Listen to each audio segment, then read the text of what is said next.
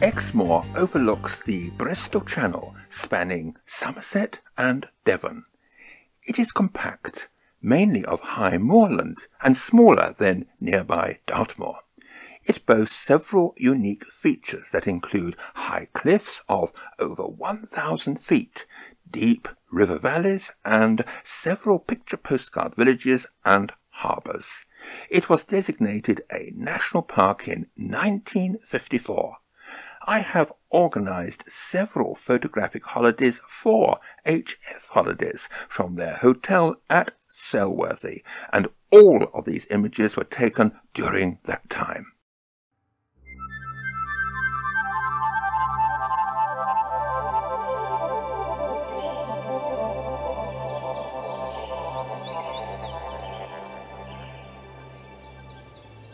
Selworthy village is a short distance from the hotel.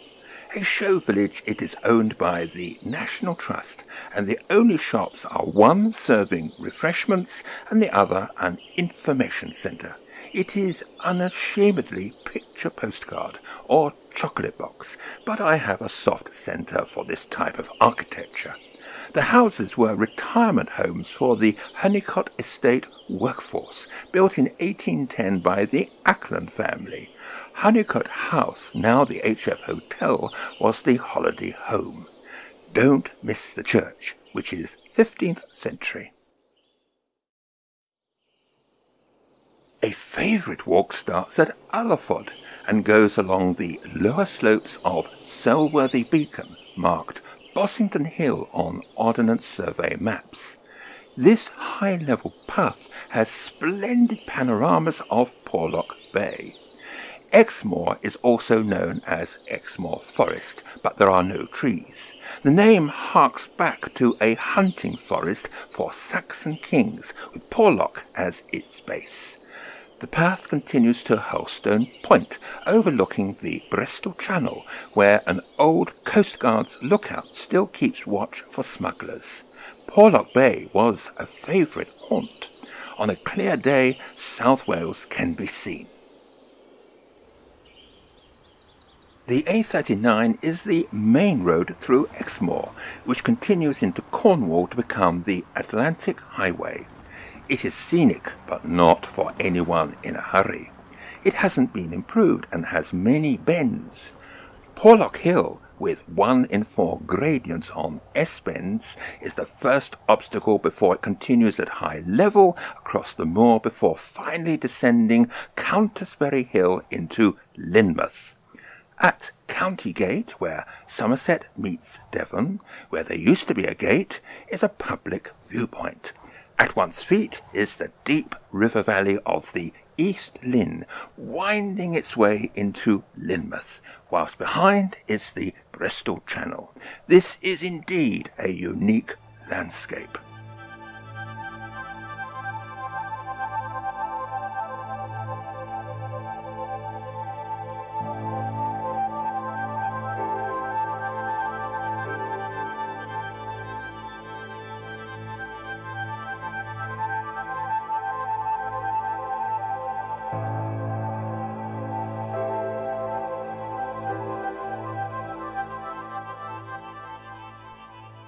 At one's feet is Oare and Malmsmead, the setting for Lorna Doone by R.D. Blackmore.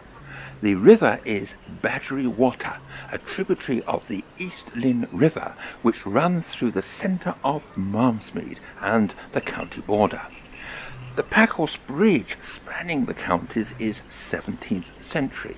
From here, a path takes the walker into the heart of Lorna Doone country. I often discover churches in amazing places, and St. John's Countisbury is one. Perched high up at over 800 feet, with only a pub and very few houses for company, you wonder where the congregation came from. Go through the churchyard for a breathtaking view. The panorama features the twin towns of Lynmouth and Lynton, with the North Devon coast stretching beyond Valley of Rocks towards Combe Martin and Ilfracombe. Located under steep hills at the mouth of the East Lyn River, Lynmouth does not get any direct sunlight in winter. In summer it is geared up for tourists, but its cousin Lynton, hundreds of feet above, is where the shops are located. Connected by a funicular railway, it was built in 1890 and powered by water, the carriages counterbalanced by water tanks. From Lynton is North Walk, an exposed but safe footpath overlooking the sea to Valley of Rocks. This landscape is a curiosity. Much of the Exmoor coastline is dramatic and includes mainland Britain's highest sea cliff, but the rocks here are unique and individual.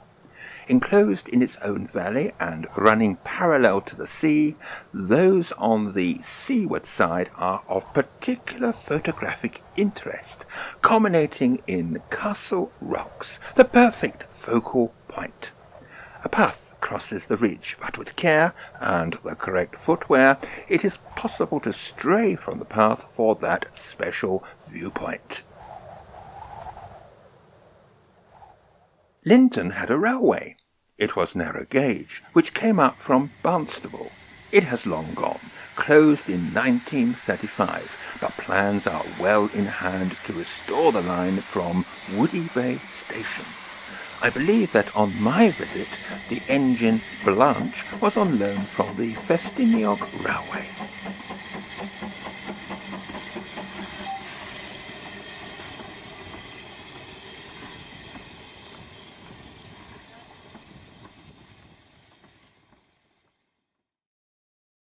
The line passes Parracombe. The church dedicated to St. Petroc is redundant but accessible. The interior is simple, save for a huge screen between the chancel and nave, where engraved to remind its congregation are the Lord's Prayer and Creed. The box pews are 15th century and appear to be largely untouched, a problem with so many other churches where they have been ripped out and replaced with less attractive Victorian pews. A little further along the coast, the River Heddon makes its way towards the Bristol Channel. This can be followed from Hunter's Inn down a steep-sided valley carved by the river, a wonder in itself. Steep-sided cliffs rise hundreds of feet on each side to Heddon's mouth, where the river finally meets the sea. It is perhaps difficult to imagine that Combe Martin supported a community mining for silver and lead until the 19th century. Today it is a popular holiday destination on the western fringe of the Exmoor National Park, sheltered from Atlantic storms by a U-shaped bay.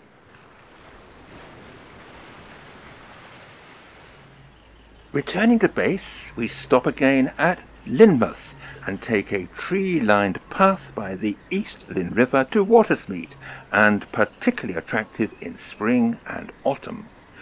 Watersmeet refers to the confluence of the Hoare Oak Water and the East Lynn River.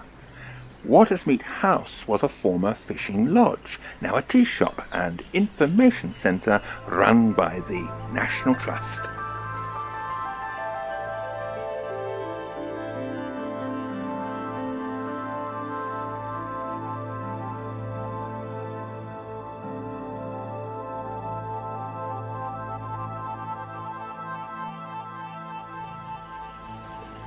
The waters of the southern half of Exmoor flow south to join the River Exe, passing Exeter into the English Channel. One tributary is the River Barle, famous for its clapper bridge, the longest of its kind in Britain. Another, the Haddeo, which is fed by the waters of Wimbleball Lake. The Exmoor watershed culminates at Dunkery Beacon, which at 1,453 feet is the highest hill on Exmoor. The views are wide ranging, and on clear days, the coast of South Wales across the Bristol Channel is discernible. A moorland road passes near to the summit. In the shelter of Dunkery is Exmoor's show village, Dunster, the area reputedly one of three possible locations that inspired the purple-headed mountain in All Things Bright and Beautiful. Overlooked by the castle battlements, it is a complete, compact, architectural gem, often used by film companies for period dramas. Its iconic feature is the Yarn Market, dating from the late 16th century, but the nunnery around the corner is 15th century. St George's Church is also 15th century, but the castle, although it goes back to the Normans, is largely 19th century.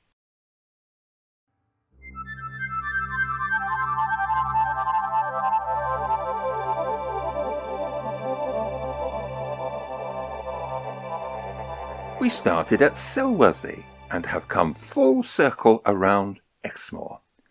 Dunster has a station on the West Somerset Railway, which terminates at Minehead. The line does not enter the national park, but that doesn't stop me from making an exit with a ride on a steam train.